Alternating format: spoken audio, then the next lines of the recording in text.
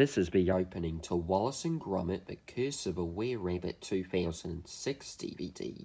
Here's the front, spine, profile picture of Wallace and Gromit, and the back. Here's the disc. Hope you enjoy.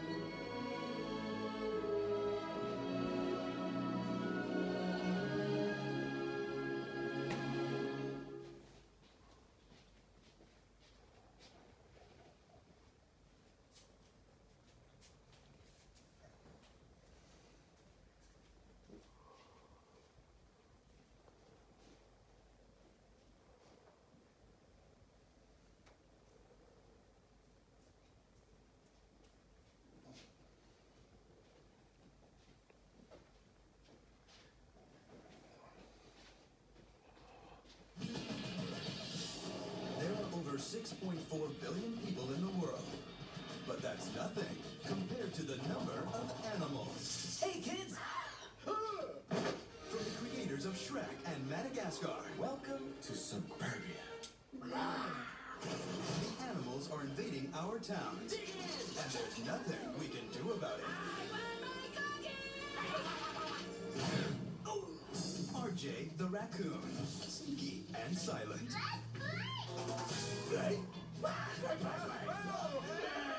Verne the turtle, slow and deliberate.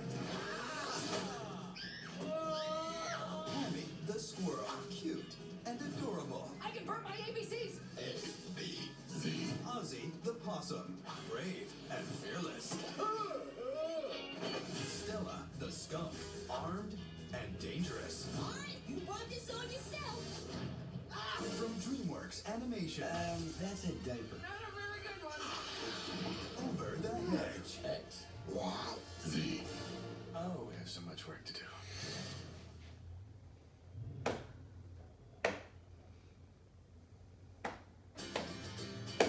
Jacuzzi.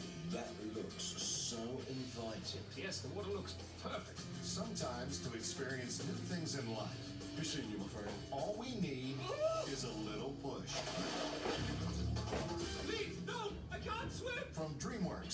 Brought you Shrek, and Aardman Studios, who created Wallace and Gromit, comes a sneak peek of a new comedy, Bon voyage. Flushed Away.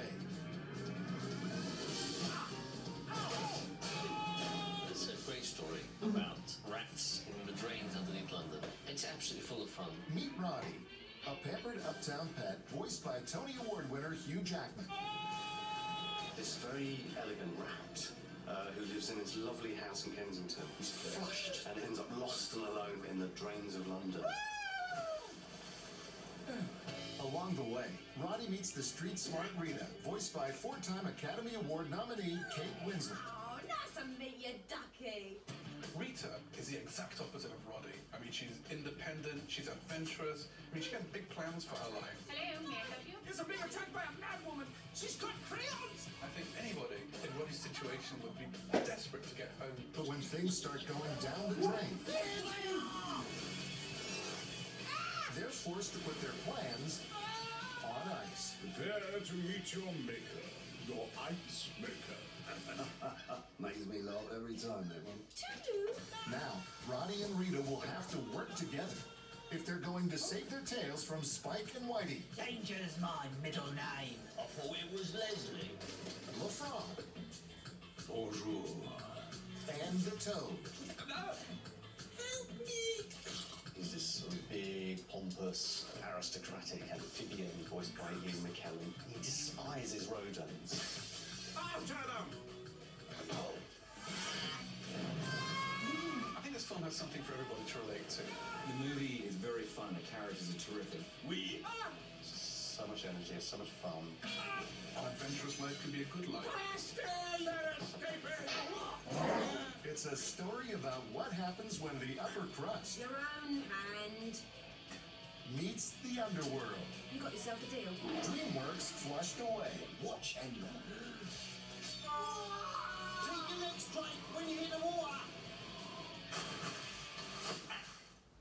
Coming to theaters November 2006. I'm getting the next strike spot. Oh. Ow.